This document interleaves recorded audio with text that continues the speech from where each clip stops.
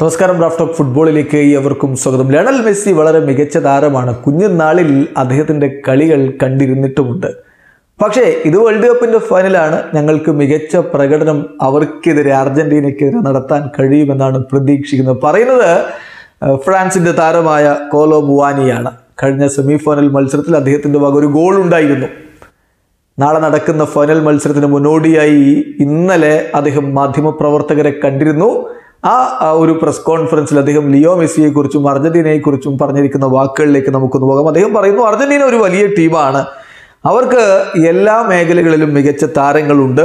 പിന്നെ ലയണൽ മെസ്സിയുണ്ട്. അദ്ദേഹം ഒരു വളരെ ഗ്രേറ്റ് പ്ലെയറാണ് പക്ഷേ ഞങ്ങൾ ഫൈനൽ മത്സരത്തിനായിട്ട് നല്ല രൂപത്തിൽ ഒരുങ്ങിയിട്ടുണ്ട് എന്ന് തന്നെയാണ് ഞാൻ പ്രതീക്ഷിക്കുന്നത്. ഞാൻ കരുതുന്നത് ഇനി മറ്റ് ട്രെയിനിങ് സെഷനുകളിൽ കൂടി കാര്യങ്ങൾ കൂടുതൽ മികച്ച രൂപത്തിലേക്ക് മാറ്റിയെടുക്കും. പിന്നെ മെസ്സി ഒരു ഗ്രേറ്റ് പ്ലെയറാണ് ചെറിയ പ്രായത്തിൽ അദ്ദേഹത്തിന്റെ കളികളൊക്കെ കണ്ടു നിന്നിട്ടുണ്ട്.